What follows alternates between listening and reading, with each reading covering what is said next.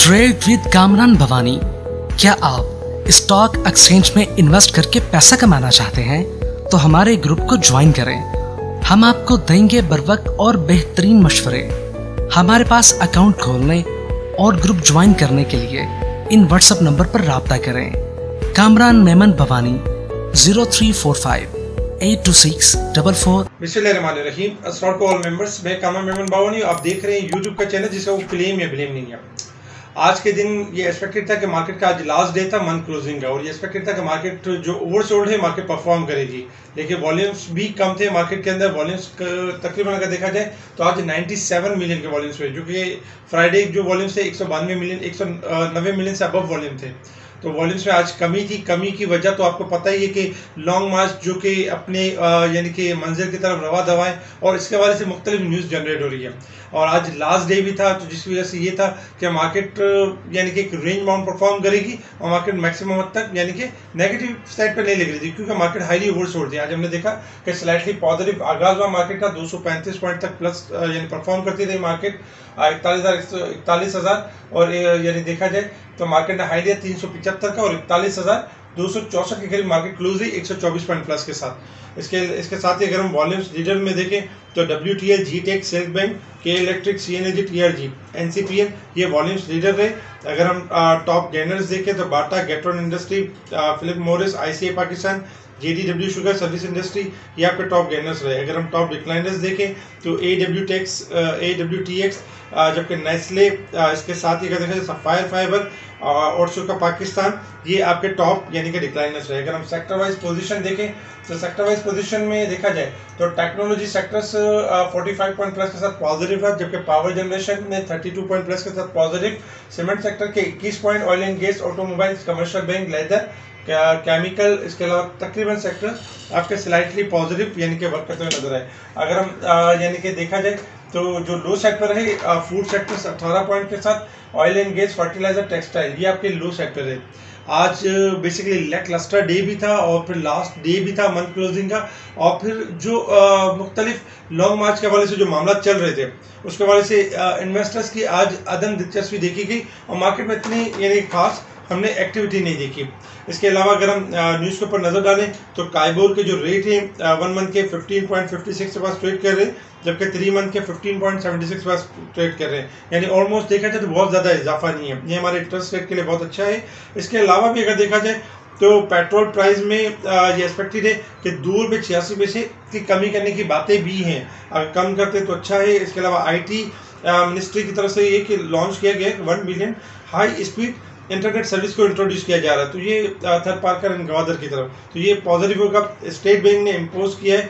आ, कुछ यानी इम्पोज कर दिया दो सौ नब्बे मिलियन पेनल्टी लगाई छः बैंकों के ऊपर। इसके अलावा शहबाज शरीफ साहब सऊदी अरब की तरफ़ से यानी कि कोशिश कोशिश कर रहे हैं इनकी ख्वाहिश है कि सऊदी अरब 10 बिलियन की ऑयल रिफाइनरी पाकिस्तान में यानी कि लगाए और इससे रिफाइनरी सेक्टर्स को एक बूस्ट मिले।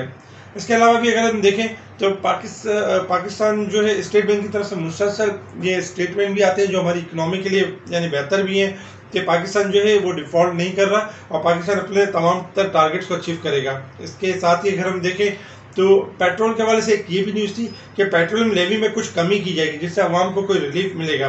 तो अगर ये पेट्रोलियम लेवी को कम करते हैं तो ये हमारे लिए पॉजिटिव होगा। आज कुछ शहबाज शरीफ की प्रेस कॉन्फ्रेंस भी थी, और जिसमें किसानों के हवाले से, यानी कि किसानों को मराद दी जाएँगी, और इनके इनके लिए कोई अच्छा पैकेज अनाउंस किया जाएगा। इसके अलावा अगर हम देखें तो टेक्सटाइल एक्सपोर्ट में, यानी कमी हुई है 200 मिलियन की। ये हमारी इकनॉमी के लिए बेहतर नहीं है, क्योंकि एक्सपोर्ट में इजाफा होना चाहिए, और जो इम्पोर्ट में कमी होनी चाहिए। लेकिन इस अक्टूबर में अगर देखा जाए तो 200 मिलियन की, यानी कमी भी हुई है। अच्छा डॉलर के हवाले से अगर हम देखें तो इस वक्त जो डॉलर ट्रेड कर रहा है आज डॉलर में कमी हुई है, फोर्टी सेंट की कमी हुई है, दो सौ बाईस दो सौ बाईस अशारिया सैंतालीस पैसे के पास ट्रेड कर रहा था और डॉलर आपका नीचे है, दो सौ बीस अशारिया एटी नाइन सेंट के पास क्लोज हुआ। तकरीबन देखा जाए तो पाक रुपीज़ में ज़ीरो अशरिया बहत्तर परसेंट का, यानी कि इजाफा हुआ। तो डॉलर में गिरावट हुई क्योंकि इंटरनेशनल मार्केट में दो दिन पहले डॉलर इंडेक्स में अच्छी खासी गिरावट हुई थी, जिसकी वजह से दुनिया भर की करेंसीज में इजाफा हुआ था, हमारी करेंसी में भी इजाफा हुआ। अच्छा बात कर लेते हैं इंटरनेशनल मार्केट की तरफ़ इंटरनेशनल मार्केट में क्रूड ऑयल ट्रेड कर रहा है 86 डॉलर और 37 सेंट के पास ट्रेड कर रहा है। एक डॉलर और तिरपन सेंट यानी कि डिक्लाइन हुआ हुआ है। हमारी इकोनॉमी के लिए ऑयल अगर जितना नीचे जाता है तो पॉजिटिव है।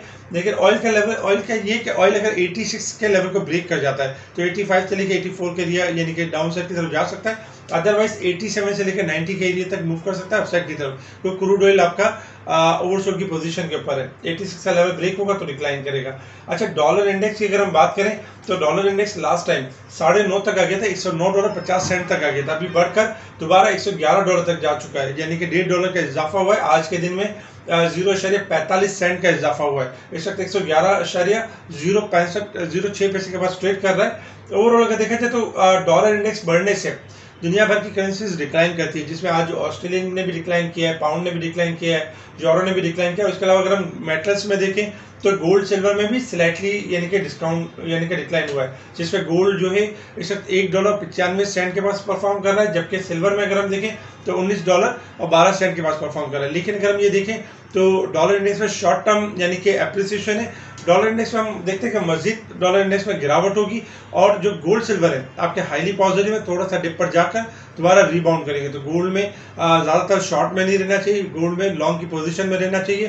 गोल्ड और सिल्वर आने वाले वक्तों में बेहतर परफॉर्म कर सकते हैं। अच्छा डॉलर इंडेक्स गिरने से ये भी होगा कि पाकिस्तान की जो करेंसी है उसमें भी यानी कि इजाफा होगा और पाक, पाकिस्तान में जो डॉलर है अगर देखा जाए तो पाक डॉलर उसमें भी हम गिरावट देखेंगे। इस वक्त अगर हम यूएसडी यानी कि पाकिस्तान में डॉलर की पोजीशन को देखें तो देखें पाकिस्तान में जो डॉलर की जो पोजीशन थी, तकरीबन तकरीबन देखा जाए तो लास्ट टाइम दो सौ सोलह पचास के पास ट्रेड कर रहा था, वो फिर रिकवर करके यानी दो सौ बाईस तक आ गया था। तो एट्टी परसेंट यानी कि रिकवरी कर चुका था। इसलिए आज हमने इसमें डिक्लाइन देखा है।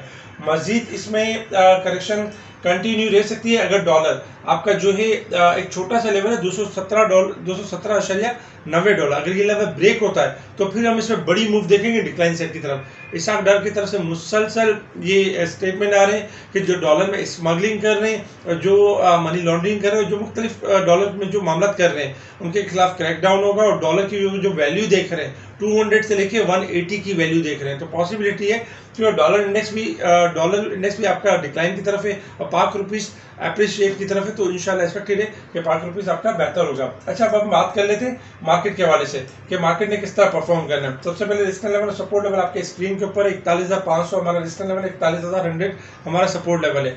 को अगर हम मंथ की क्लोजिंग देखें तो इस मंथ की जो क्लोजिंग रही, इकतालीस हज़ार दो सौ चौसठ के करीब रही, होनी चाहिए थी इकतालीस हज़ार आठ सौ इक्यासी के करीब, यानी कि छः सौ सत्रह पॉइंट मार्केट ओवरसोल्ड की साइड पे क्लोज रही है। फ्राइडे वाले दिन सात सौ इकतालीस पॉइंट थे, जिसमें से आज कुछ रिकवरी हुई है, और जो कि अब तक छः सौ इकतालीस पॉइंट रह गई है मार्केट अच्छा मार्केट के हिसाब से अगर हम देखें तो इस वक्त शॉर्ट ग्राफ की अगर हम पोजीशन देखें तो देखिए शॉर्ट ग्राफ आपके ओवरसोल्ड की पोजीशन के ऊपर है। जब हमने सुबह के टाइम यानी मार्केट में देखा मार्केट एक टाइम में आपकी 200 पॉइंट से अब प्लस कर गई तो स्लाइटली एडजस्टमेंट के लिए मार्केट में जगह मौजूद थी। इसी वजह से मार्केट ने थोड़ा बैक किया, और फिर फाइनली मार्केट एक सौ चौबीस पॉइंट के करीब क्लोज रही। इस वक्त अगर हम देखें शॉर्ट ग्राफ आपके हाईली ओवरसोल्ड है इंडेक्स का जो नेक्स्ट लेवल है इकतालीस का लेवल हो सकता है। यानी कि स्टार्टिंग में कल मार्केट इकतालीस तीन सौ साढ़े तीन सौ का लेवल ब्रेक करती है तो इंडेक्स का जो नेक्स्ट टारगेट होगा, इकतालीस हज़ार पाँच सौ से लेकर आठ सौ का टारगेट होगा। इंडेक्स का जो सपोर्ट लेवल है, इकतालीस हज़ार हंड्रेड का लेवल है। यानी कि अगर मार्केट इकतालीस हज़ार हंड्रेड के लेवल को ब्रेक करती है तो फिर वंस अगेन हम करेक्शन जो हो रही थी, उसमें कंटिन्यू देखेंगे और मार्केट का फिर जो नेक्स्ट सपोर्ट होगा, चालीस हज़ार छः सौ से लेकर चार सौ का लेवल होगा।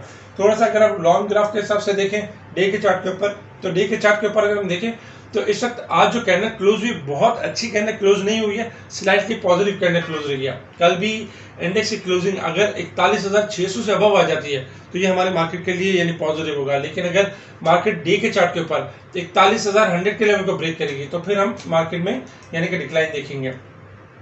अच्छा वीक ऑन वीक बेसिस पे अगर हम देखें तो इस वीक के अंदर मार्केट की फ्राइडे तक अगर बयालीस हज़ार से अबव क्लोजिंग आ जाती है तो इंशाल्लाह मार्केट का जो टारगेट होगा फोर्टी थ्री थाउज़ेंड से लेकर फोर्टी फाइव थाउज़ेंड होगा। अगर बयालीस हज़ार की क्लोजिंग आएगी फ्राइडे तक। अगर फ्राइडे तक बयालीस हज़ार की क्लोजिंग नहीं आती है और उससे बिलो आ जाती है लाइक इकतालीस हज़ार से नीचे आ जाती है तो फिर ये थोड़ा सा मार्केट के लिए नेगेटिव होगा। जबकि मंथ की जो अगर हम क्लोजिंग देखें तो मंथ की क्लोजिंग बहुत ज़्यादा बेहतर तो नहीं हुई लेकिन आ, कुछ हद तक यानी कि देखा जाए तो इन्वर्टेड हैमर कैंडल क्लोज रही है और देखा जाए तो स्लाइटली पॉजिटिव क्लोज रही है। तो मंथ अब जो नेक्स्ट मंथ स्टार्ट होगा नवंबर में, उसमें इंडेक्स को ब्रेक करना होगा बयालीस हज़ार पाँच सौ से अबव का लेवल ब्रेक करना होगा क्लोजिंग ऊपर देनी होगी, ताकि लॉन्ग व्यू आपके सेट हो सके। अच्छा बात कर लेते हैं लॉन्ग मार्च के हवाले से। देखिए लॉन्ग मार्च के हवाले से दो तरह के इन्वेस्टर्स होते हैं। एक तो वो इन्वेस्टर्स होते हैं जो लॉन्ग मार्च को लॉन्ग अपॉर्चुनिटी समझते हैं। इस तरह की अपॉर्चुनिटी समझते हैं कि जब लॉन्ग मार्च आपका स्टार्ट तो हो चुका है। अब लॉन्ग मार्च में ये होगा कि लॉन्ग मार्च की वजह से मार्केट आपकी गिरेगी नहीं। अब मार्केट जो आपकी गिरेगी डिसीज़न के ऊपर गिरेगी, यानी कि मुजाकरात क्या होते हैं? मुजाकरात अगर पॉजिटिव हो जाते हैं, दोनों जैसे देखा जाए अपोजिशन और गवर्नमेंट एक पेज पर आ जाते हैं और इलेक्शन या कोई भी डेट कॉल कर देते हैं, मामला हो जाते हैं इनके तो क्या होगा कि मार्केट आपकी यहाँ से बूस्ट करेगी और मार्केट एक अच्छी रैली करेगी मार्केट तेज़ी की तरफ़ मूव करेगी। लेकिन अगर यही चीज़ मुजाकर नाकाम होते तो थोड़ी अनसर्टेनिटी रहेगी। लेकिन अगर इस वक्त जो पोजिशन देखी जाए ग्राउंड रियलिटी देखी जाए तो 99 परसेंट चांसेस यही है कि मुजाकर से ही मामला हल होंगे। बाकी और कोई वे यानी कि नहीं होगा। अगर दूसरे किसी वे में जाते हैं तो अब भी आना एक उसी पेज पर होगा कि मुजाकर की तरफ़ आए। तो एक तो ये चीज़ है। सेकंड नंबर पे long march long opportunity long march long opportunity इस तरह से कि देखिए इस वक्त लॉन्ग मार्च जैसे कि स्टार्ट हो गया फ्राइडे से। अब रेट वाइज अगर हम देखें तो बहुत सारे स्टॉक्स आपके डिक्लाइन के ऊपर हैं। 52 वीक्स के लोअर साइड के रेट पर आ चुके हैं। अच्छा ऐसा होता है कि अगर हम लॉन्ग मार्च की हिस्ट्री देखें तो जब इफ्तार जब जस्टिस इफ्तार चौधरी जो थे जब इनके लिए लॉन्ग मार्च निकाला गया तो मामला एक ही दिन में, यानी एक से दो दिन के अंदर तय हो गए थे, और फिर मार्केट ने एक अच्छी रैली की थी। इस तरीके से इमरान खान का साहब का जब लॉन्ग मार्च जब पहले स्टार्ट हुआ था तो उसमें क्या हुआ था, एक दिन मार्केट 700 पॉइंट गिरी थी, और फिर मार्केट में एक अच्छी खासी रैली बनी थी। इस बार भी यही है कि मार्केट आपकी काफ़ी लोअर साइड पर और ये रेट देखा जाए तो कभी कभार इस तरह के रेट्स आते हैं।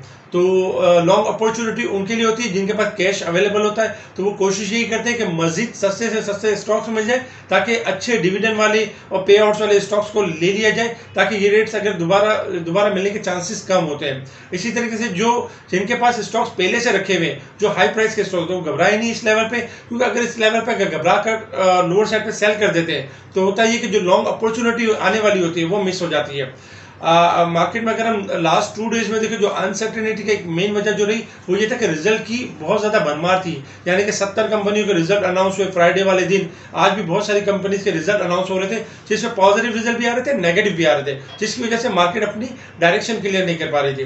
तो इस वक्त अगर हम टेक्निकली देखें तो मार्केट में अपॉर्चुनिटी से फ्रेश बायर्स के लिए और जो पैनिक और जो घबराहट के बारे जो सेल कर रहे हैं आ, उनको सेल नहीं करना चाहिए उनको होल्ड रखना चाहिए क्योंकि मार्केट आने वाले दिनों में मौका देगी। और जैसे मफामत की कोई न्यूज़ आती है मार्केट ने आ, इसका रिएक्ट करना है और मार्केट ने परफॉर्म करना है। इसके अलावा पॉजिटिव न्यूज़ काफ़ी सारी है रिफाइनरी से रिलेटेड भी और आ, देखा जाए तो दूसरी चीज़ें भी। तो उसके हवाले से मार्केट ने आगे चलकर परफॉर्म करना है। स्पेशल ग्रुप से जुड़ने के लिए आप कॉन्टैक्ट कर सकते हैं व्हाट्सएप ग्रुप पर।